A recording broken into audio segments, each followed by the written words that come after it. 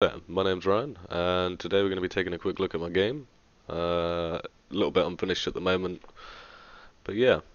So I'll go ahead and play this in the Unity project, um, as it's easier than creating a separate build with a lower volume, just to be able to record my voice over the top. Um, so this is the start menu. I haven't actually got a game title yet, which is absolutely great. Uh, but we have some functions here, so we can we can press play to start at the beginning of the game press continue um, to start on the level that we were last on. So if we had the actual build up, um, we could play, get up to level 7 maybe, and decide we don't want to play anymore, we'll play it later. Um, and obviously the player prefs will save that.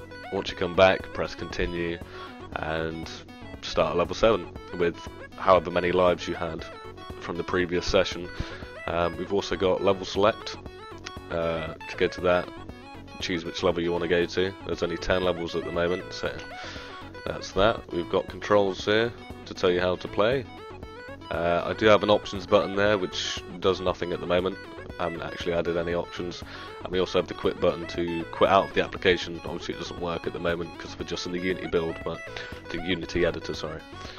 Uh, so I'll go ahead and in fact, I'll go through the level select as the player just takes us straight to the, the play just takes us straight to level one. So we'll just go level select, and you can see it's a really basic level select screen at the moment. But yeah, like if I click on number 10, it takes me to the last level, etc., etc. So I'll just click on level one and start going through it. So this is the character. Um, it's supposed to be a robot, and you're the last last robot that's left that hasn't gone insane uh, and started locking up humans. Um, so there's two modes to this player. Uh, there's a scooter mode where you, you know you go left and right quite fast, but you can't really jump too high, and you can only just really make it over these little ledges. Uh, and you can you can press space to switch. And you go into a pogo mode. And why isn't he auto jumping? That is amazing. I have to look at that script in a minute. you're supposed to uh, hop along as if you were on a pogo, regardless of what buttons you're pressing. Um, but if you jump, you then do like a higher jump instead. So he would he would do about half half of this jump. Um, yeah, that's obviously not working quite a bit at the moment for some unknown reason. Um, so yeah, each level has a timer, which you can see at the top right here. You've got score, got health, timer, uh, and the amount of lives. The, the, amount of lives is ridiculously high at the moment because the Unity editor doesn't reset the lives. Um, I, yeah. Um, I got the controls up on the left at the moment. That was just for um, just was sort of like a, a pre pre sort of release build. Like might as well have the controls up there while other people are playing it while it's not supposed to be like a fully fledged game. Um, but if I go back down here, once you're in pogo mode, obviously you jump higher, but you move slower. So like, if I'm if I jump, I move across the screen. I can make it all the way across, pretty much there. But if I if I do this, then I d I don't quite make the distance quite so far, but I jump higher. Um, so if I if I do if I switch in midair, I can uh, make it a lot further as well as jump higher, um, which that's supposed to be sort of the the core mechanic in this one. Um, yeah. uh, obviously, once you go through this portal, it takes you to the next level. Um, I didn't get around to doing any animations for this game, um, which which would have made it look a, a lot nicer. Um, yeah. Um, we've got a checkpoint system. Forgot to mention that. Um, so obviously, at the start of every level, there's going to be a checkpoint, so that you know that. Well, the game knows that once once you die, this is where you should respawn to. Um, I don't think I added it to the first three levels or two levels because you can't actually die, so there was no point in in putting it up there. Um, but yeah, for this this gap here, we can see if I if I jump, I'm not going to quite make it unless I uh, unless I switch in midair and then then I can make it, you know. Um, the the auto jump is supposed to make it harder for you to press, like to actually jump, and you have to actually time it properly. So it would be every once you land back on the ground and the object knows that you're grounded, um, it would count down from 0.2 seconds, and then it would start auto jumping, like hopping along at about half of that height. Um, but yeah, like you, you, you literally had 0.2 seconds from when you were grounded to when you would jump again, and you wouldn't be able to pull off your, your big jump. Um, so it would really sort of like warrant skillful timing um, to sort of add to that sort of platforming. Oh, I ran out of time. That's nice. And for some reason, those menus are still. Oh, that game over menu screen. Well, out of time menu screen is still not centered properly. I don't know why.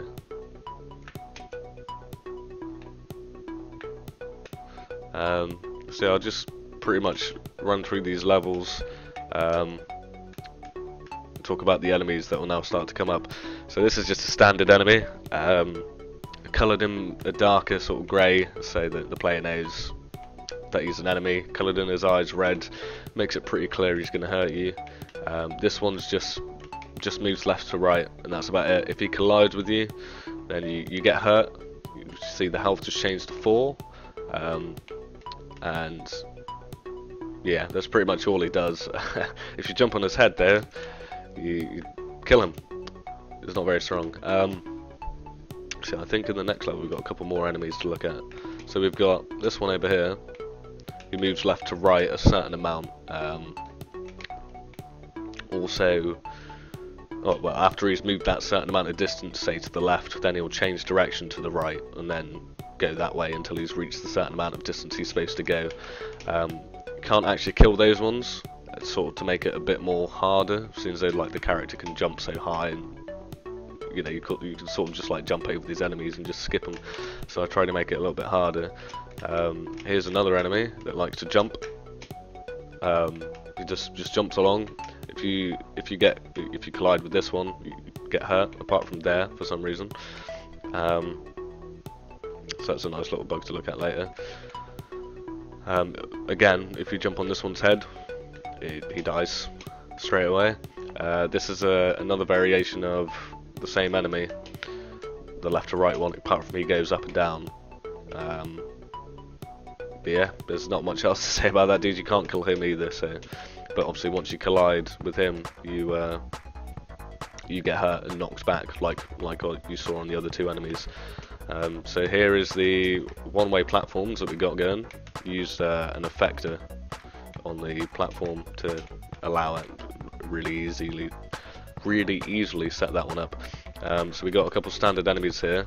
Um, this enemy just does not like to work.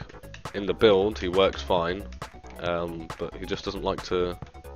Not not in the, not in the build. Um, whenever you play levels before this one, he doesn't work, but if you play just that level, he works in the Unity and it's really weird. I don't know what's quite going on with him. Um, so I might get another prefab and put in there. Um, so we've got this enemy here um, that likes to slam down on you, uh, and if he touches you, you pretty much die instantly. Like that, you're just dead. Um, it was a, it was really challenging to code that for some reason. Um, I think I, I went a bit overboard on how complicated it was going to be. Um, put too much stuff in there that just didn't quite make sense and I couldn't make heads or tails of it. And after I looked at it again, like the following day, it literally took me about two minutes to go, oh, this is what actually needs to be there. And yeah, so I spent about five hours making that on the on the foot on the day I was actually trying to make it and then it took two minutes to fix it. It was a bit silly, really. Um, oh, I ran out of time. There we go. I've been talking way too long there. Quickly make it over back to where we were.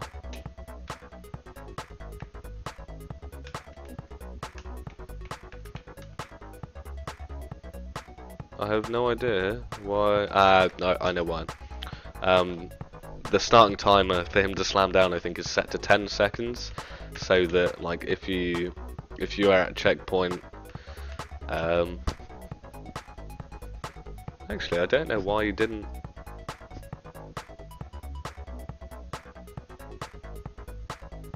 Oh, because I reloaded the level because um, the timer ran out. So down here we got a nice little trap where I've nicely placed uh, an arrow there to pretend to the player they should go down there when they really shouldn't. Um, we've got some more enemies just in the way of you uh, and a life pickup that I just picked up. Um, I think there's another one down here so we'll just go down there and have a look at it.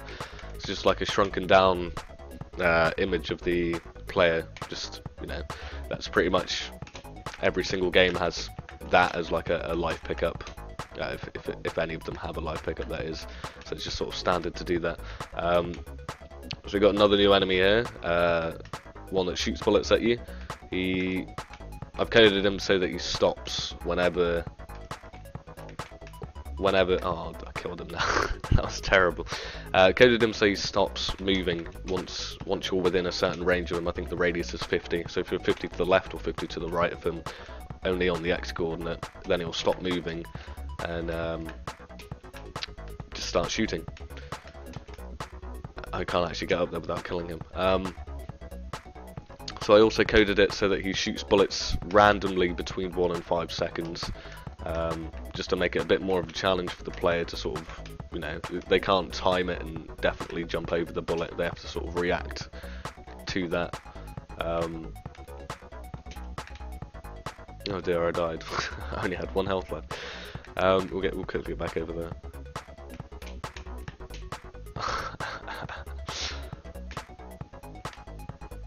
Woohoo! Um, yeah, so we got some more slam enemies here obviously if you touch the top of them as well they still kill you um, which is something I didn't want to happen really but I haven't haven't really got time to sort of fix that. Uh, so we've got a bit more of a challenging level here. So it's, it's all about making sure that the player gets the timing down uh, ready for like the, the later levels although this is nearly one of the last levels I think I have so um, yeah sort of making sure the player knows to to get the positioning and the timing right. Uh, make sure they've got the skill to get you know to the next levels. Make sure they can actually do them. Um, I think all of these all of these enemies that move along the floor as well, uh, like like the jumping one and the standard one, um, they all have like edge checks and wall checks, um, just to make sure they're not going off an edge. If they're going off an edge, they'll change direction. Um, if they're hitting a wall, they'll then change direction. Even these uh, enemies down here and the left to right ones also have those um, applied to them as well. So that it's like if they hit a wall, they'll bounce straight off and start travelling in the other direction. Um, so I was a bit evil here. I made sure that the player has like the patience to sort of, of wait um, the skill, like, they've got the movement down so they know what they're doing sort of thing. Ready for the next level, which is uh, quite quite a sight. At least I think it's the next level. So we go down here, nice little trap there for the players if they don't know where they need to go. So now, now we're on to the boss, which is a fun little thing to play. Uh, so I've... No, I don't know why that's not working that's that's fantastic. But basically, what happens? Um, oh dear! Oh dear! I'm definitely going to die. I think. Yep. Yeah. Um, so basically, what happens is. once once you've jumped on the head of the player uh, of the boss, he splits into two pieces, um, and then those pieces also split into two pieces each until they get down to um, to a certain size, I believe it is. So once they get down to, I think below one scale, because uh, that boss starts off at, with a five point something scale. So he sort of, obviously once he once he splits, he goes down to 2.5, then down to 1.25. Uh, then after that, he's he can't spawn anymore or no, no, he spawns another lot which then go to 0.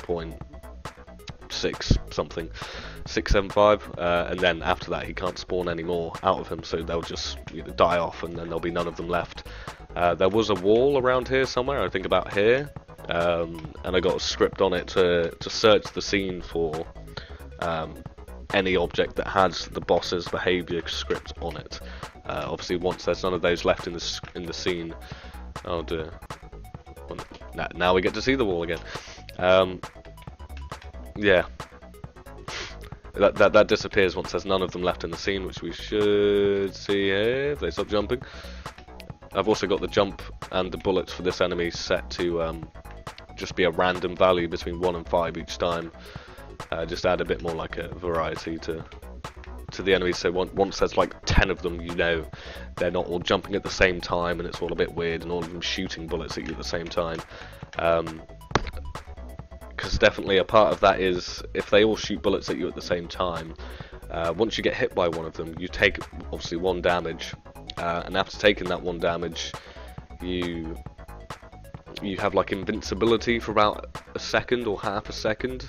Um, sort of had a bit of a glitch where if the bullets collided with you, they'd end up taking like two, three, four damage off of you, and it just really depended on the time. Like at, at that time, just randomly choose one of those values, like two, three, or four, and it would never do one damage. Um, so the only way to sort of work around that was giving the player invincibility as soon as they, um, yeah, as soon, as soon, as they got hit and took damage, sort of thing. So um, yeah, that's all of the all of the levels I have at the moment. Uh, goes to the credit screen after you finish, um, and then straight back to the game title, like the game title, the, the start menu, um, and then I'm not sure if I've coded that. Yeah, I've coded it so that if um, if you have a game over or if you uh, reach the credits screen, um, it will then make sure that the, the current scene is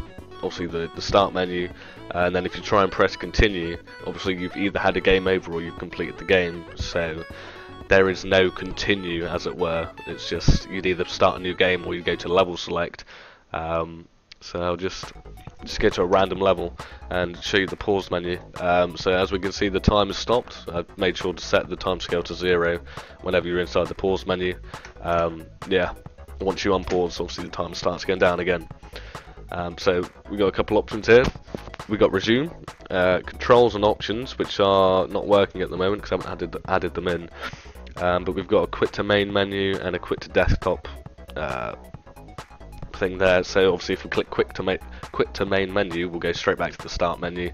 Um, and if we click quit to desktop, if we were in the application, um, we would just quit to the desktop and the game would close down for us. Um, so yeah, I just quit to the main menu and show you the continue function, which is currently not working because I don't know why. Um, because timescale is equal to zero, that'll be why. I don't know why that's a thing. Hmm. That was working earlier. Everything's everything is breaking once I'm trying to tell everyone what I'm doing with my life. Um, I'll have to look at that later as well. That'll be fun. yeah. Um, that is interesting. I know exactly why that is. Let's have a look here. Oh, oh, I did not want to do that. Let's unpause that. Unplay, even. Look at one of these scripts, which would be time management. I'm pretty sure once you... It's not this one, it's... Uh, it's that one, isn't it? No, it's not that one. It is UI. It's not UI, because it's pause menu. That'll be it.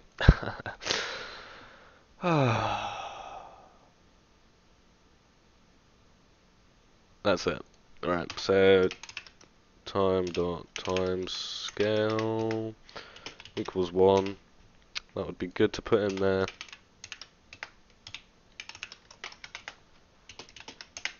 There we go, that fixes that issue. so now if we press play,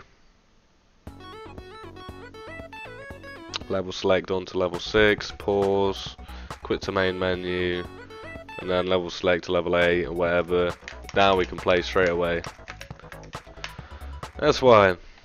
Fantastic. Um, I wonder if that continue works now. I, I don't know why it wouldn't would stop working just because of that, but quit to main menu, continue. Right, so that will be. I don't want that, thank you. That will be because of something inside of the start menu, I imagine.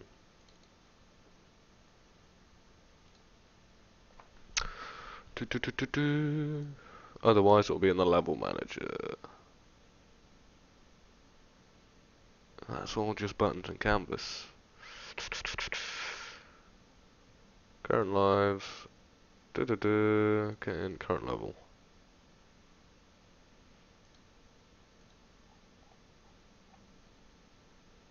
I'm pretty sure that is edited on the level manager. Current lives, current level, set in at start to the current level. Is the current level set before it? It is. Uh, I haven't got a level manager in the start menu, have I? That would be a bit silly, wouldn't it? I do not. So why is this having a hissy fit then? Go away. Um. Hmm. I actually have no idea why that's not working.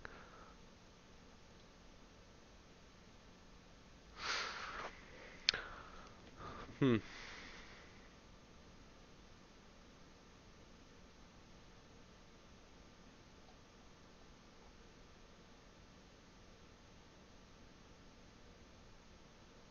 Yeah, it's nothing to do with that at all. Current low, blah blah blah.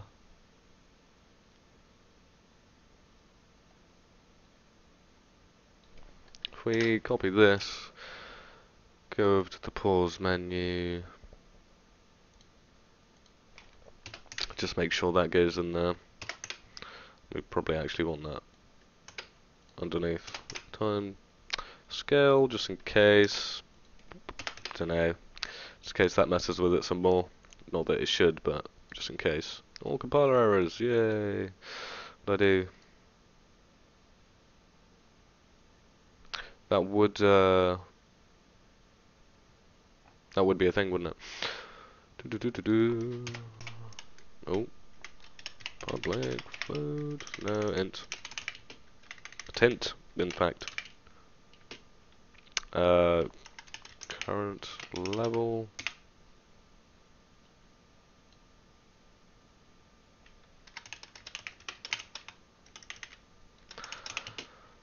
Level equals uh, application or load level. There we go. I should start. It was not functioning there. Why is that not working? Current level. I think it does, mate. It doesn't, because there's not. ah, good old spelling mistakes. Right. I don't know why that would start working randomly now, but maybe that's a thing. I don't know. I literally cannot think of another way why that would not be working. Right, so we've loaded this level. That should be fine. Quit to the main menu. And continue. Why is that not working? The only other thing is... Continue button. The list is empty. That might be why. Just, just saying, that might be why. Right. Ah. There we go. That should, uh, that should be it, really. Yeah. There we go. It was as simple as that. So I pretty much got everything working now, apart from that auto jump feature. Um, which I'm going to take a look at next. Um, but yeah, that's pretty much my game. Um, I plan to do a lot more than that. Um, unfortunately, I, I focused a lot more on the other two modules I had this semester, um, which yeah was was kind of unfortunate for this project and probably going to suffer on marks for that. But hey ho, um, that's how it is. Uh, but yeah, thank you for taking the time to watch this, and uh, have a great day.